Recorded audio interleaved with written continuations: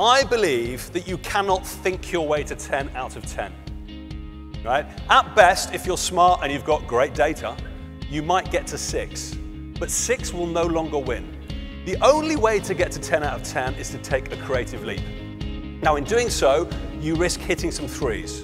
So, my job and my organization's job is to help people learn from the threes fast to hit more tens.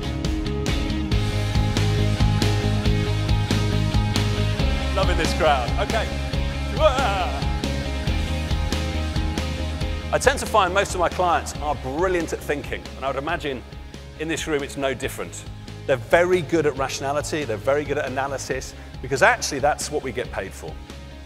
What I often find, however, is that they tend to be a little less confident in feeling.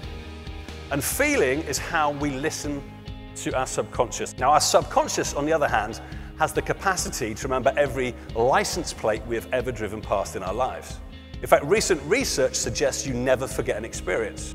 Therefore, your subconscious is the best source of stimulus you'll ever have. Feel free to give a little hug. Little hug's okay at the end of that, that's all right. Years ago, I remember being asked, Chris, you know, what's your biggest top tip for innovation and creativity? And I think at the time I said, oh, fantastic insight. It's all about insight.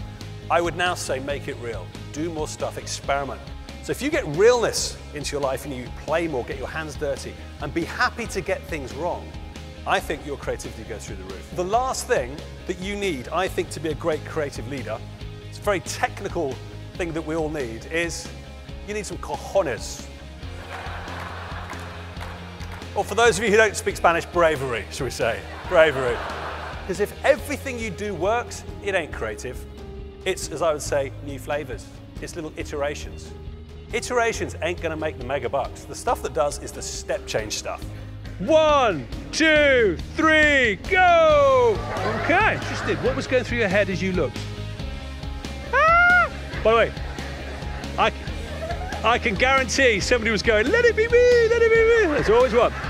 Enjoy the rest of your conference and hopefully we'll play again sometime. Thank you very much.